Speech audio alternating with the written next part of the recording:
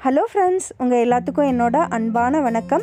இன்றைக்கி நம்ம ஒரு ஸ்நாக் ஐட்டம் தான் பார்க்க போகிறோம் வெஜிடபிள் ஸ்ப்ரிங் ரோல் எப்படி செய்கிறது அப்படிங்கிறத பார்க்க போகிறோம் என்னோட முந்தைய வீடியோவில் ஆனியன் கேபேஜ் சப்ஜி எப்படி செய்யலாம் அப்படின்ற ஒரு வீடியோ போட்டிருந்தேன். இப்போ அந்த ஆனியன் கேபேஜ் சப்ஜியை ஸ்டஃபிங்காக யூஸ் பண்ணி தான் நான் இந்த வெஜிடபிள் ஸ்ப்ரிங் ரோலை செய்ய போகிறேன் ஆனியன் கேபேஜ் சப்ஜி வீடியோ பார்க்காதவங்களுக்கு கீழே டிஸ்கிரிப்ஷனில் லிங்க் தரேன். அதை போய் பார்த்துக்கோங்க. இந்த வீடியோவில் நம்ம வெஜிடபிள் ஸ்ப்ரிங் ரோலுக்கும் சமோசாவுக்கும் பயன்படக்கூடிய அந்த ஷீட் இருக்கு இல்லைங்களா பேஸ்.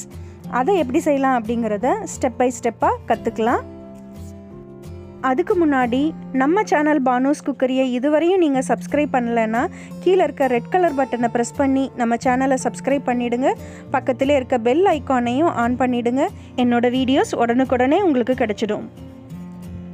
இப்போ ஒரு பவுல் எடுத்துக்கலாம். பவுலில் அரை கப்பு மெஷரிங் கப் இது. அதில் ஒன்றரை கப் அளவுக்கு நான் வந்து மாவு எடுத்துக்கிறேன். மைதா மாவு. எண்ணெய் ரெண்டு டேபிள் ஸ்பூன் அளவு ஊற்றிக்கிறேன் கொஞ்சம் தேவையான அளவு உப்பு போட்டுட்டு எல்லாத்தையும் நல்லா மிக்ஸ் பண்ணிக்கலாம். நல்லா மிக்ஸ் பண்ணதுக்கு அப்புறமா தண்ணி கொஞ்சம் கொஞ்சமாக ஊற்றி சப்பாத்தி மாவுக்கு மாதிரி நல்லா பிசைஞ்சு வச்சுக்கலாம்.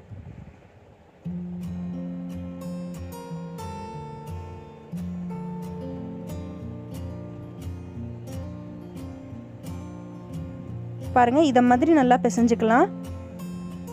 மேலால் ரெண்டு டேபிள் ஸ்பூன் அளவு ஆயில் ஊற்றிக்கலாம் ஆயில் ஊற்றி நல்லா பிசைஞ்சு விடலாம். கையில் ஒட்டாமல் வரக்கூடிய அளவுக்கு நம்ம பிசையணும். ஒரு அஞ்சு நிமிஷமாவது ஆகும். ஒரு அஞ்சு நிமிஷம் நல்லா பிசைஞ்சு விட்டுடலாம் பாருங்கள் இப்போ கையில் ஒட்டாமல் வந்திருக்கு. இதை மூடி போட்டு ஒரு ஃபிஃப்டீன் மினிட்ஸ்லேருந்து டுவெண்ட்டி மினிட்ஸ் வரையும் ஊற வச்சிடலாம். இப்போ டுவெண்ட்டி மினிட்ஸ் ஆயிடுச்சு. இப்போ மாவை ரெண்டு பாகமாக பிரிச்சுக்கலாம். பிரிச்சுட்டு இந்த மாதிரி நீல வாக்கில் உருட்டிக்கலாம்.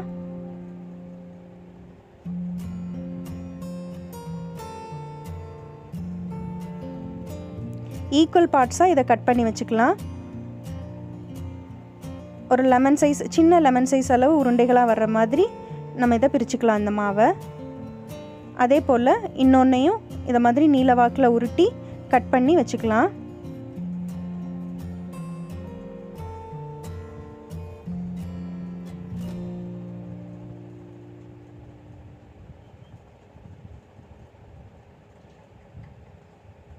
இது எல்லாத்தையும் நல்லா உருண்டையாக உருட்டி வச்சுக்கலாம்.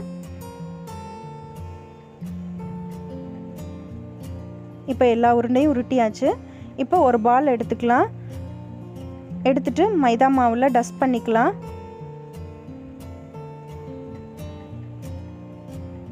இதை நல்லா தேய்ச்சி விட்டுறலாம். சப்பாத்தி சின்ன சின்ன சப்பாத்தியாக தேய்ச்சி எடுத்துக்கலாம். எல்லா உருண்டையும் அதே மாதிரி நல்லா இந்த மாதிரி சப்பாத்தி மாதிரி தேய்ச்சி வச்சுக்கலாம். எவ்வளோ தின்னாக தேய்க்க முடியுமோ அவ்வளோ தின்னாக தேய்ச்சிக்கலாம்.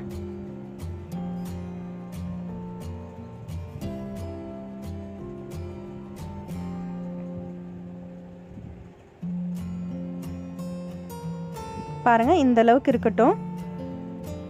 இப்போ எல்லாத்தையும் நம்ம சப்பாத்தியாக தேய்ச்சி வச்சுட்டோம். இப்போ ஒரு சப்பாத்தி எடுத்து வச்சு அதுக்கு அது மேலே எண்ணெய் தடவிட்டு எண்ணெய்க்கு மேலே மைதா மாவை டஸ்ட் பண்ணிக்கலாம். அது மேலே இன்னொரு சப்பாத்தி எடுத்து வச்சுக்கலாம். அது மேலே மறுபடியும் ஆயில் தடவிட்டு மைதா மாவை வச்சு டஸ்ட் பண்ணிவிட்டு இன்னொரு சப்பாத்தி எடுத்து அது மேலே ஒன்றா வச்சுக்கலாம்.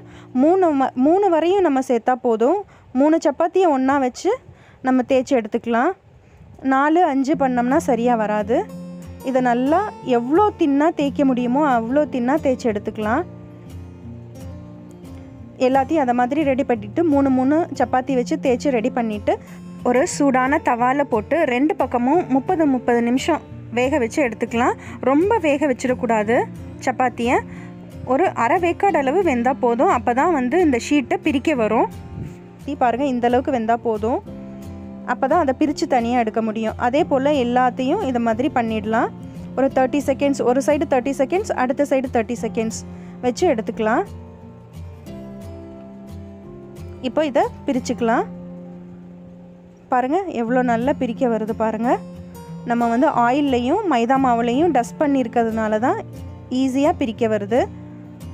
கண்ணாடி மாதிரி இருக்குது பாருங்கள் நமக்கு ஷீட்டு இது ரெடி ஆயிடுச்சு. இதை வந்து சமோசாவுக்கோ இல்லைனா வெஜிடபிள் ஸ்ப்ரிங் ரோலுக்கோ நம்ம பேஸாக யூஸ் பண்ணிக்கலாம். இப்போ நம்ம ரெடி பண்ணியிருக்க ஷீட்டை வந்து ஜிப்லாக் கவர்லேயோ இல்லைனா ஒரு ஏர்டைட்டு கண்டெய்னர்லேயோ போட்டு ஃப்ரீசரில் வச்சிட்டோம்னா வேணுங்கும் போது எடுத்து யூஸ் பண்ணிக்கலாம். பாருங்கள் நான் இதை மாதிரி ஸ்டோர் பண்ணி ஃப்ரிட்ஜில் வச்சுக்க போகிறேன் வேணுங்கும் போது எடுத்து யூஸ் பண்ணிக்க போகிறேன் இப்போ நம்ம வெஜிடபிள் ஸ்ப்ரிங் ரோலை செஞ்சு முடிச்சிடலாம். ஒரு ரெண்டு டேபிள் ஸ்பூன் அளவு மைதா மாவில் தண்ணி கொஞ்சம் ஊற்றி பேஸ்ட்டு மாதிரி கரைச்சி வச்சுக்கலாம்.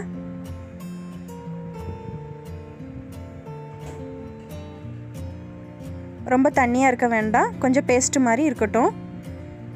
இப்போ ஒரு ஷீட் எடுத்து வச்சு அதில் நடுவில் இந்த ஸ்டஃபிங்கை வச்சுருக்கேன். Onion cabbage sabzi. இதை வந்து ஸ்டஃபிங்காகவும் யூஸ் பண்ணிக்கலாம். இதை மாதிரி ஓரத்தில் வச்சுட்டு ஒரு சுருட்டு சுருட்டிக்கலாம். சுருட்டிட்டு இந்த மாதிரி ரெண்டு பக்கமும் மைதா மாவு பேஸ்ட்டு தடவிக்கலாம். தடவிட்டு இந்த மாதிரி ரெண்டு ஓரங்களையும் நல்லா மடித்து விட்டுட்டு மறுபடியும் இதை ஒரு சுருட்டு சுருட்டிடலாம். மீதி இருக்க இடத்துல எல்லா இடத்துலையும் நல்லா மைதா மாவு பேஸ்ட்டை ஒட்டிட்டு நல்லா ஒட்டி விட்டுடலாம் இப்போ வெஜிடபிள் ஸ்ப்ரிங் ரோல் உங்களுக்கு ரெடி ஆகிடுச்சு பாருங்கள் ஈஸியாக கடையில் கிடைக்கிற மாதிரியே ரெஸ்டாரண்ட்டில் கிடைக்கிற மாதிரியே நம்ம செஞ்சிட்டோம். இன்னொன்று உங்களுக்கு செஞ்சு காமிக்கிறேன்.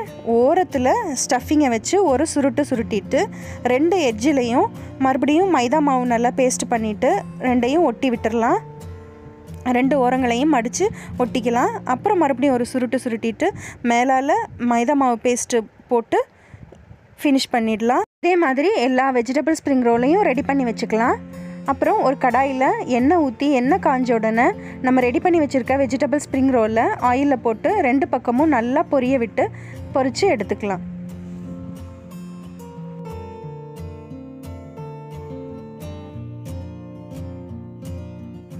ஒரு பக்கம் நல்லா வெந்த உடனே இன்னொரு பக்கமும் திருப்பி விட்டு நல்லா ரெண்டு பக்கமும் நல்லா கோல்டன் ப்ரௌன் கலரில் வந்தோடனே தான் நம்ம எடுக்கணும். நல்லா மொறு மொறுன்னு ரொம்ப சூப்பராக இருக்கும். ஈவினிங் ஸ்கூல் விட்டு வர குழந்தைங்களுக்கு கொடுக்க ஒரு அருமையான ஸ்நாக்காக இருக்கும் இது. குழந்தைங்களுக்கு மட்டும் இல்லை பெரியவங்களுக்கும் இது ரொம்ப விருப்பமாக இருக்கும். டீயோடு சாப்பிட அவ்வளோ அற்புதமாக இருக்கும். இப்போ நல்லா வெந்துடுச்சு எல்லாத்தையும் எடுத்துடலாம். இதே போல் எல்லாத்தையும் எல்லா வெஜிடபிள் ஸ்ப்ரிங் ரோலையும் போட்டு பொரித்து எடுத்துக்கலாம். ரொம்ப ரொம்ப டேஸ்டியான வெஜிடபிள் ஸ்ப்ரிங் ரோல் ரெடி ஆகிடுச்சு இதை டீயோடையோ இல்லைனா காஃபியோடையோ சாப்பிட ரொம்ப ரொம்ப நல்லாயிருக்கும் நீங்களும் கட்டாயமாக வீட்டில் செஞ்சு பாருங்கள் செஞ்சு பார்த்துட்டு இந்த ரெசிபி உங்களுக்கு பிடிச்சிருந்ததுன்னா இந்த வீடியோக்கு ஒரு லைக் கொடுங்க கமெண்ட் பண்ணுங்கள் உங்கள் நண்பர்களோட ஷேர் பண்ணுங்கள் அடுத்து ஒரு சுவையான ரெசிபியோடு உங்களை சந்திக்கிறேன். அதுவரை உங்களிடமிருந்து விடை பெறுகிறேன் நன்றி வணக்கம்.